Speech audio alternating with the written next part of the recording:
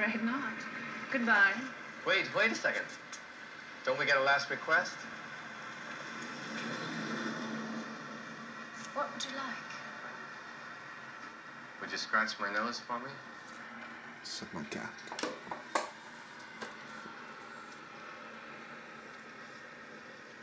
Mm. Mm. Kev! No, You're you a very sick woman. Thank you.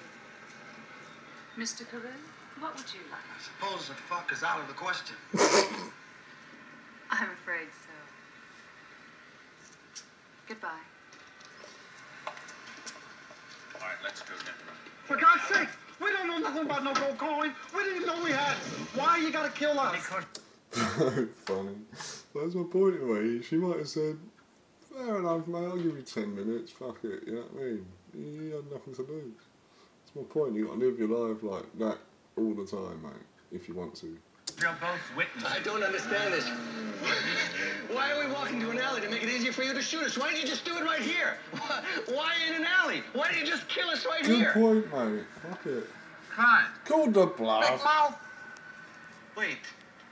We won't talk. I promise. Please, don't do this. Dave, stop the begging, man. We gotta go out with dignity.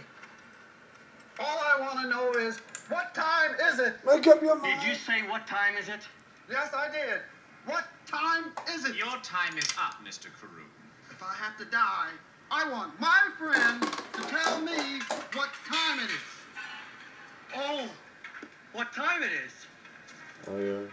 he's handcuffed to death too. It's three o'clock. Not yet, not yet. It's twelve. It's, uh, wait. Make up your It's ten mind. o'clock now. Wait, twelve o'clock. Make up your It's mind! twelve o'clock. It is not 12 o'clock. Yes, it's 12 o'clock. It's o'clock. 11.15. It's twelve o'clock.